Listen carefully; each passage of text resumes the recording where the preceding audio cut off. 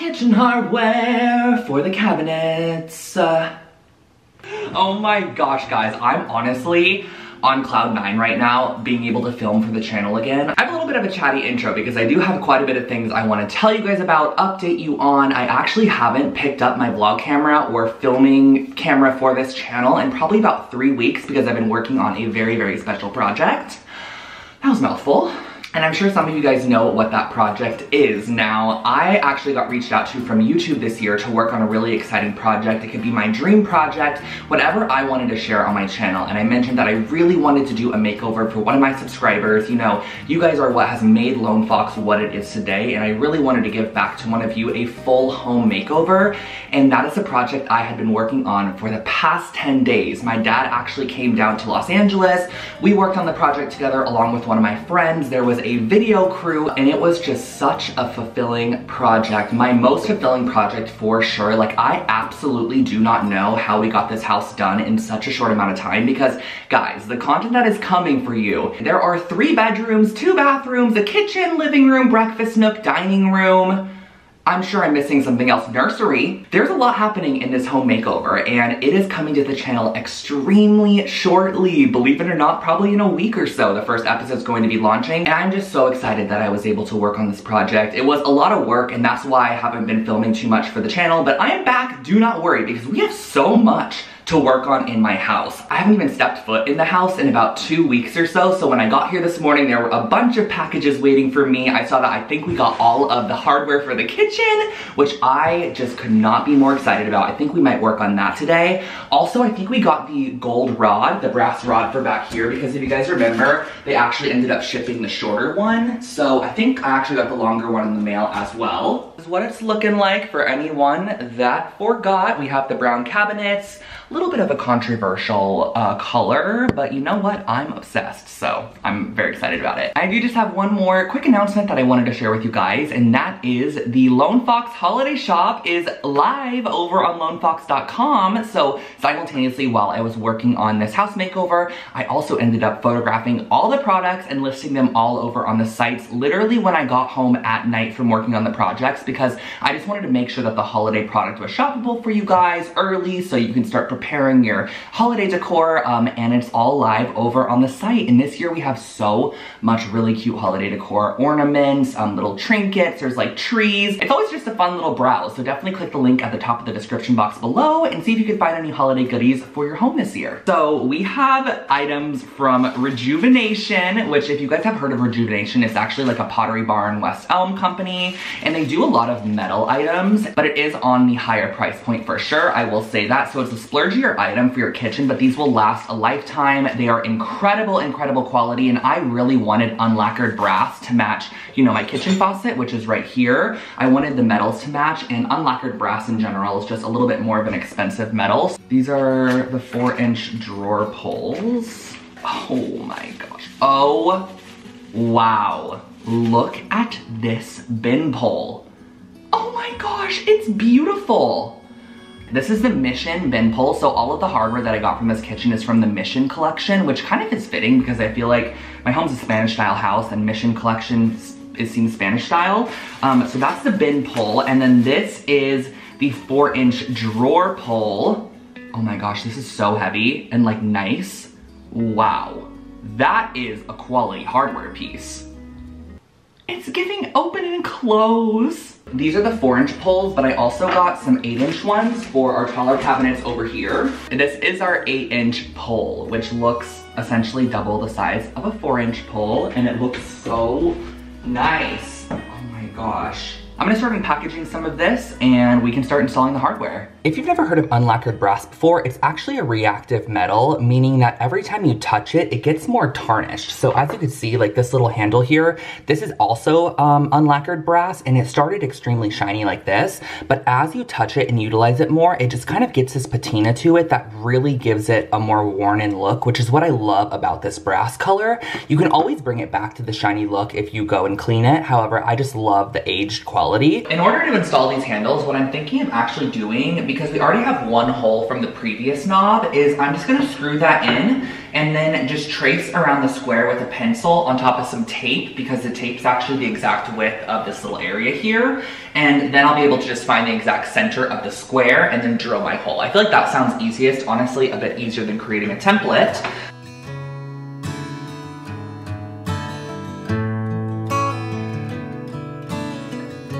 Applied a piece of tape on this lower section just because it's the exact width of this little area that I'm applying the handle on. And I know it's a little hard to see, but I centered this on the tape where it looks nice and straight. And then I traced around the square, found the center, and that's where we're gonna drill our hole to attach the handle.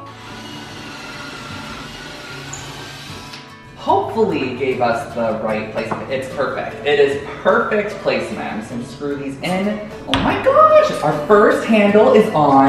It's so pretty. I love the chunkiness of it. It feels so great in your hand too.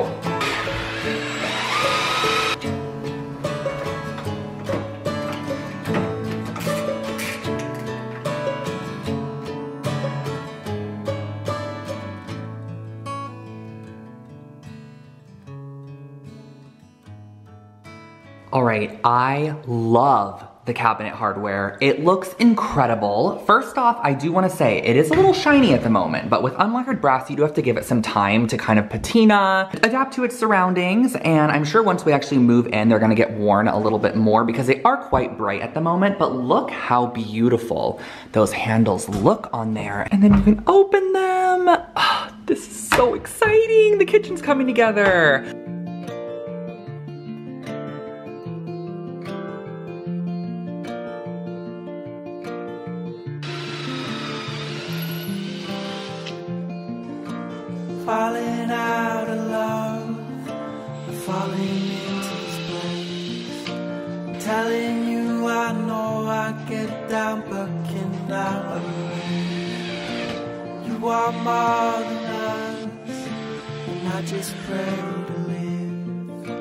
Struggling to keep up when I'm living on the piss.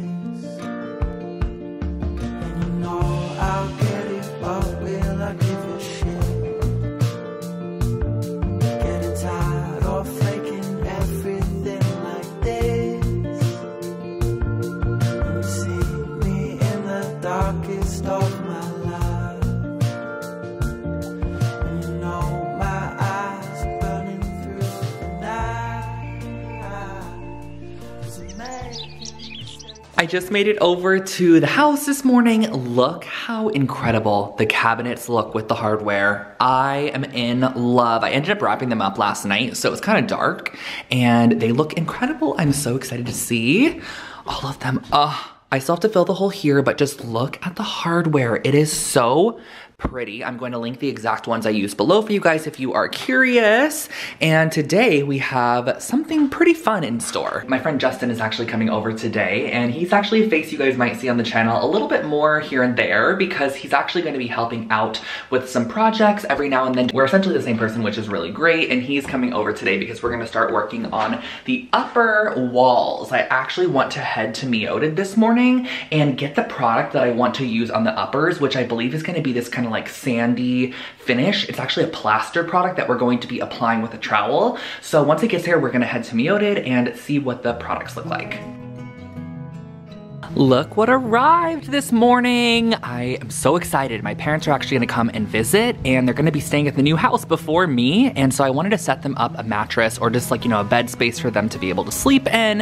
And I ordered a Helix mattress. So let's bring this in, unpackage it, and put it in the space. I am so excited to have a guest room for my parents to be able to come whenever they would like to. So of course I wanna set this up for them and also the dogs, of course. So I got them a king size mattress. They actually went through the Helix sleep quiz first, which I always recommend. If you're looking for a new mattress, I love how Helix offers this because it actually pairs you up with a mattress for your personal body type and your sleeping preferences, and it's shipped directly to your door in a box. So this is my first time actually ordering a king mattress from Helix. I've always just happened to get a queen for every project I've worked on, and it is crazy how they fit a king mattress like this in such a small box shipped directly to your door. And setting it up is a breeze. You could easily do this with one person. All you have to do is just unroll the mattress, get the plastic plastic off of it and it starts to inflate almost immediately, like you can literally hear it. And after letting that puff up for about 24 hours, you have a super premium quality mattress. And you guys know that I absolutely love my Helix mattress. I've had mine on my bed for over two years now. Couldn't imagine even getting a new one, have no intention of it. And this one is for my parents. It actually ended up being the same exact mattress that I have on my bed. So I already know that if I wanna go sleep in this bed, I definitely will be doing so. And not only have I got these in, you know, my room, I also did one in my friend Kelsey's place. I did one in my aunt's place for my grandpa. We've used Helix mattresses every everywhere. And let's just say you know you didn't love it, there's a 100 day sleep trial. And if it's just not for you, they'll actually come back and pick it up without you having to put it back in the box. So make sure to check out helixsleep.com slash Drew Scott to get up to $200 off your Helix mattress and two free pillows. So these right here are the samples that I ordered. I ended up getting four uh, tiles per swatch just to get a variation of the colors. And these are actually tumbled travertine. Now I really wanted flooring that looked aged in here because I feel like the cabinetry kind of looks newer. The marble looks new as well. There's a lot of new elements in here. I am of course adding, you know, the antique lighting, but I wanted another element of something that looked older or just more organic because getting that look in floor tile typically comes with a higher price point. You have to get authentic antique tile tile or you have to find something that's already distressed. These were actually a pretty good deal on clay tile. I have yet to order them. I wanted to see the colors and I don't know if I wanna do a brick or if I wanna do the square and then maybe stagger them a little bit and kind of create this like cobblestone look. I think that that could be so pretty. And I do love the color tone in here. I don't think I can go wrong with either or. And which one would you guys select if you had to select one of these?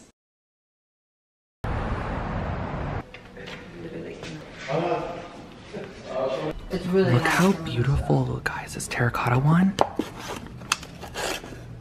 This one's super pretty too. So Brie actually put out some samples for me that she thought I would like for the kitchen based off of the photos I sent. And these are some color options, some neutrals. And I did also bring along my swatches from the house. I have like kind of a similar marble swatch and paint. These are the tile swatches for the floor here. I brought two of them. And then the marble, this isn't the exact marble, but it's very similar. And then we have the paint color here. And this is kind of the shade that I'm thinking might look nice. kitchen All right, guys, I'm thinking this is the color. It's just a really light, and I also just kind of put it up against white so you can see. Just a really kind of creamy, darker white neutral tone. We are back, and Justin is starting to tape off the upper wall. Oh my gosh, you have to say hi, Justin, and introduce yourself to the Hi. channel. My name is Justin. And you're wearing a custom Diptyque inspired Sweatshirt. Sweatshirt. Don't look too close because it's my parents' address. And at Meoded, you guys actually saw me. Let me pull this up. I just took this little flat lay. Look how cute for the Instagram. Um, and I wanted to just kind of put all of the elements for the space together because I also have the floor tile option. This is what I'm doing on the wall. Oh, we can actually see it against the marble.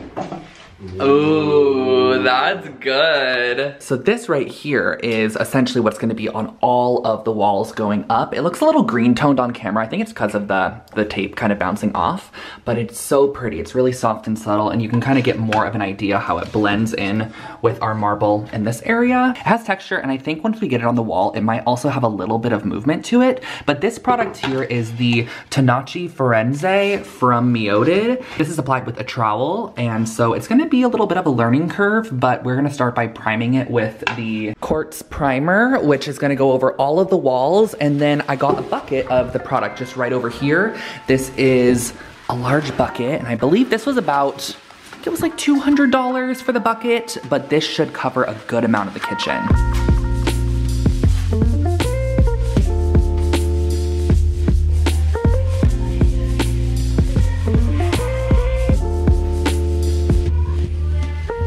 One of the first steps I'm going to do in here is actually use some of this joint compound and it comes with a little spatula which is nice and actually fill in a lot of this uneven texture up here. That way it matches a lot of the other walls. I had the drywall guys actually drywall off these walls when I removed the tile. The tile didn't damage the wall up here so I actually just left it as is to save a bit of money and then we are going to just kind of smooth this out, give it a nice even coat so it looks like these and then we can go in and prime everything.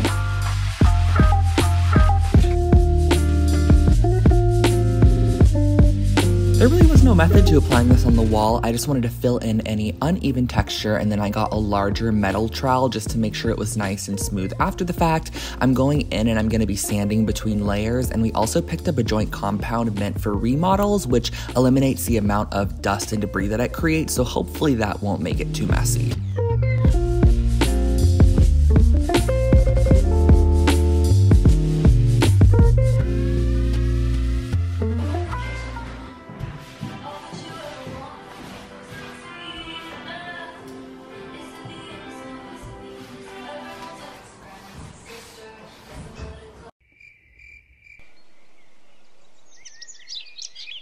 Back at the flea market. I told myself I wasn't gonna go for a little bit, and here I am. um, my friend actually just signed on an apartment, and he was like, will you come with me? Like, I need to find some items. And I was like, you know what, I will. And I figured I'd vlog for you guys as well. So if I find anything, I will share it with you. So let's go shopping.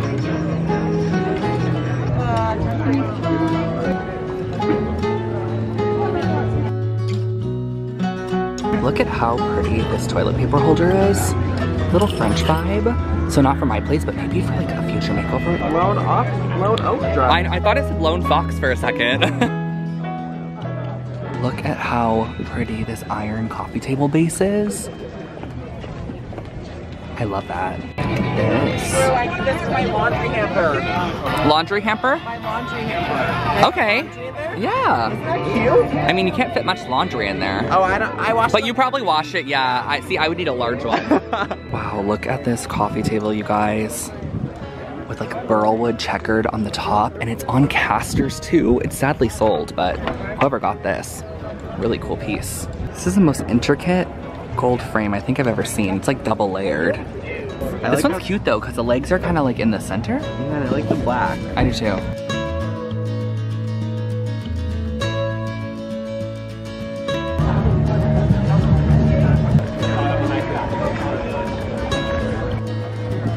Should I go over there? I'll come meet you.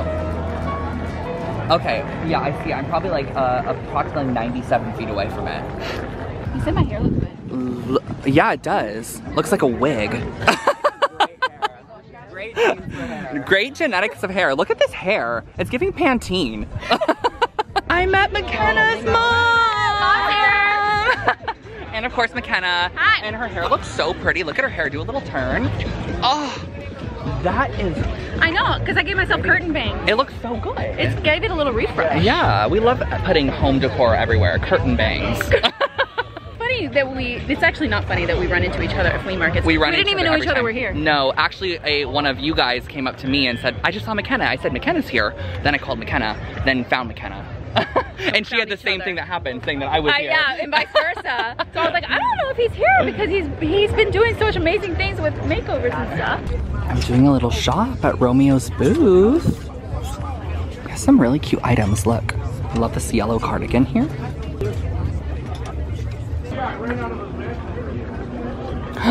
this is so pretty.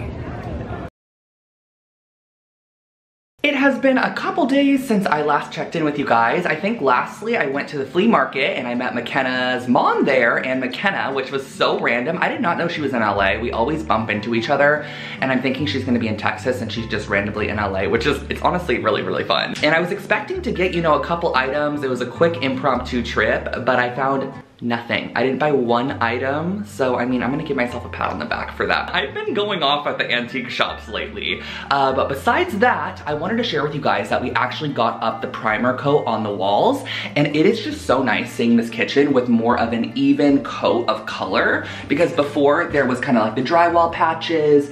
The swatch on the wall right here above the marble is the wall treatment that we're doing. So this is the exact color that I got, the exact finish, and as you can see, it just has a sandy finish, like if I go like this.